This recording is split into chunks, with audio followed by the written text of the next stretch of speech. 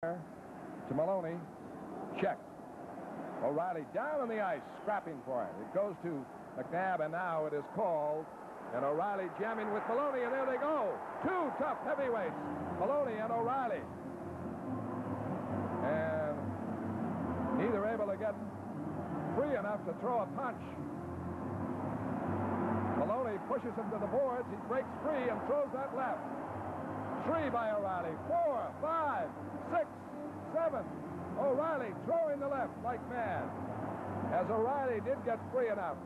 Pins Maloney there now, and they are two tired heavyweights. And the linesmen don't want to move in. They're so big and strong, both of them.